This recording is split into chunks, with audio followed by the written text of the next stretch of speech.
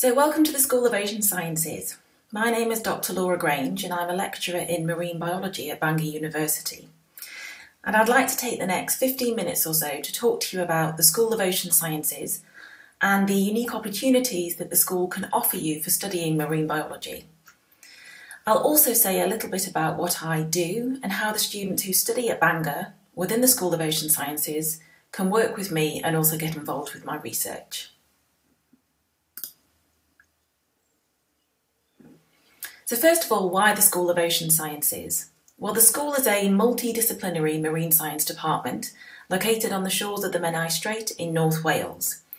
And it's one of the few true schools of ocean sciences in the country where our research and teaching cover the many disciplines of biology, chemistry, physics, and geology of our oceans. We're also one of the largest university marine science departments in Europe taking around 200 students per year across a wide range of undergraduate programs. And in addition, we have a long track record in world leading research and also high quality teaching. We also offer a wide range of degree courses across the subject areas of marine biology, including three and four year undergraduate programs. The course you choose will involve typically 25 to 35 hours per week of lectures, practical sessions, including laboratory and field based work, private study, tutorials, and also project work. Recognising the importance of the student experience, the School of Ocean Sciences also offers a wide variety of opportunities for work placements and international experience. And that's beyond the many fieldwork opportunities that arise during our degree programmes.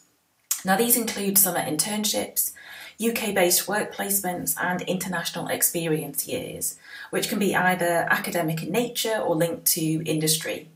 And these all provide uh, an opportunity to apply the skills that you've learned in an academic setting to a more professional environment.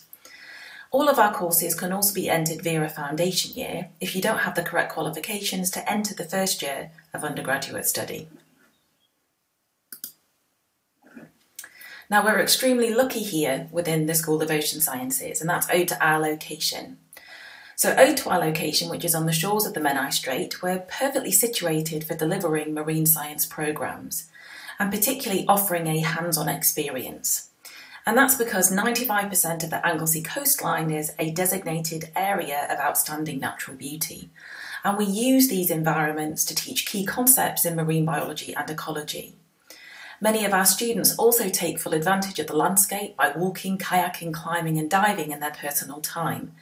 In fact, Northwest Wales is one of the UK's top recreational diving destinations, and many ocean sciences students take advantage of this and join the university's Subaqua Club, which has their own boat. Now, there's a strong focus on practical hands on activities in our degree programmes, and as I've said, those include both laboratory based work and also field work. But um, also, uh, these activities include seagoing activities. Um, and this is because the school has its own ocean going research vessel, the Prince Madog. So, here at the School of Ocean Sciences, we take great pride in our seagoing heritage, and in 2018 celebrated 50 years of seagoing science. Because of this, we engage our students in ship based activities, including fishing trips, where as a student you would collect fish to work on in future practical sessions, as well as other benthic marine invertebrates. And in addition, um, you participate in multidisciplinary ship based surveys where you learn about um, the oceanography of the ocean. So, in addition, many of our staff have worked on large ocean going research vessels, in addition, of course, uh, to the Prince Madog. For example, they've engaged in sampling expeditions that have conducted research on changing sea ice and retreating glaciers in the polar regions, but also uh, research expeditions that have looked at the impact of change on coral reefs in the Pacific and Indian Oceans. And ocean going research is just one of the ways that our staff conduct their research. In terms of research, Bangor University is ranked second in the UK for ocean sciences research, and our staff boast a diverse portfolio of research interests, from the polar regions to the tropical settings of coral reefs. Students who learn within the school can work with researchers who are at the cutting edge of their research field, undertaking laboratory based work, but also field campaigns as part of student research projects, but also placements during the academic year and the summer holidays.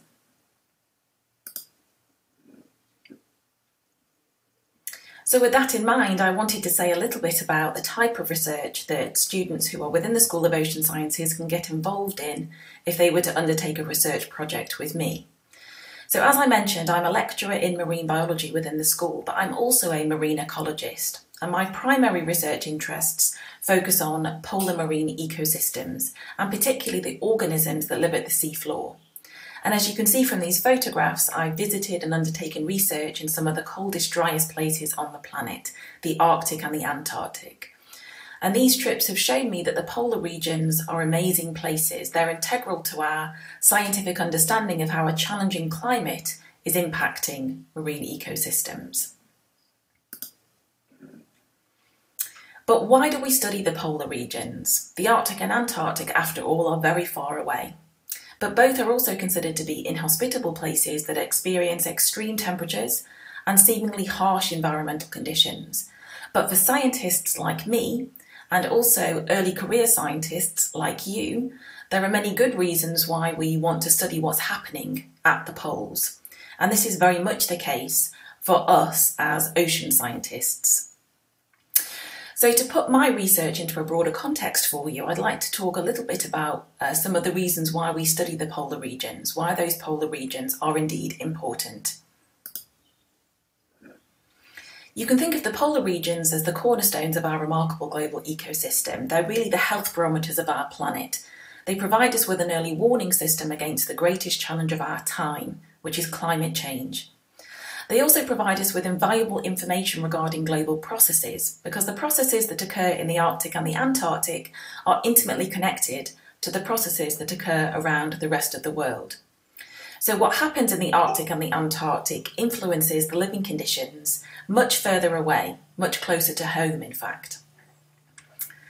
They're also regulators and drivers of the world's climate. So much of the weather that we experience here in Europe, within the UK, comes from the Arctic.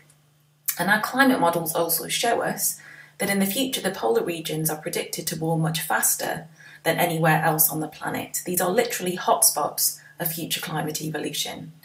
And we're already seeing change at the polar regions that can be related to environmental change.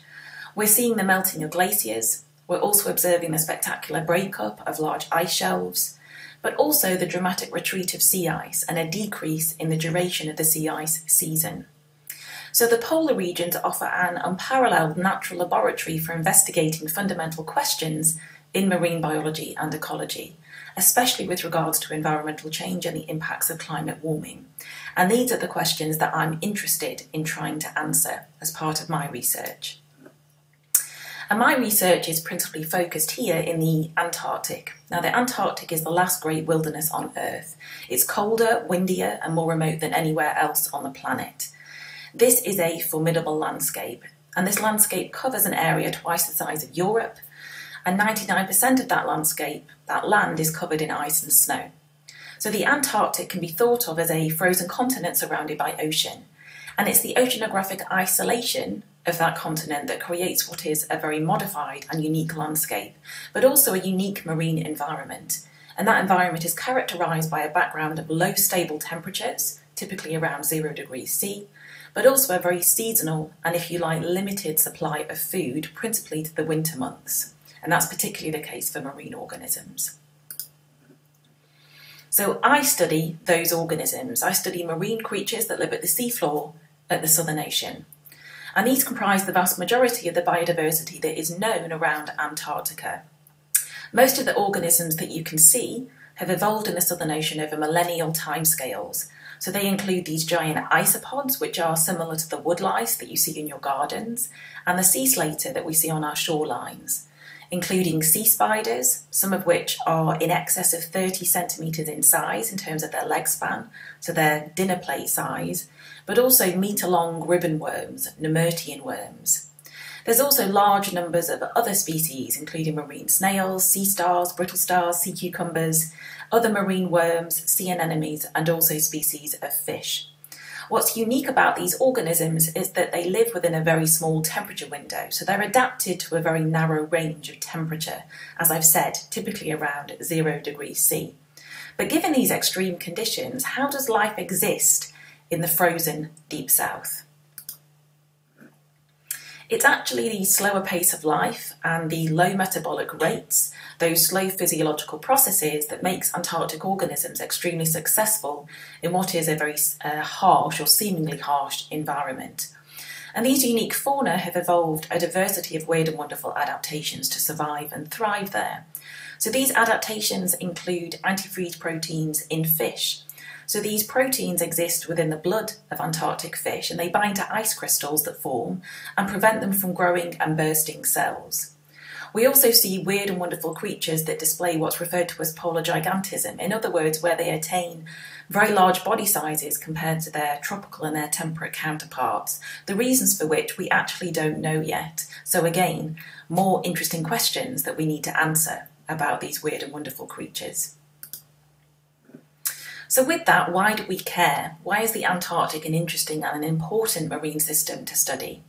Well, this figure shows you long-term changes in yearly surface temperature in and around Antarctica. And what it confirms is that the Antarctic, and in particular the West Antarctic Peninsula, is currently undergoing a period of rapid climate warming. And that temperature change is having an important impact upon that frozen continent, but also the marine organisms that occupy the oceans around it.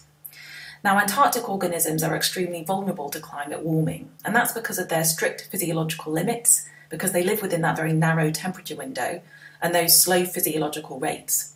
So they have a limited uh, intrinsic physiological flexibility to cope with that change. So the responses that we observe in these organisms to change are expected to be both sooner and larger uh, compared to their comparable temperate and tropical counterparts. And that's why this is such an interesting system to study.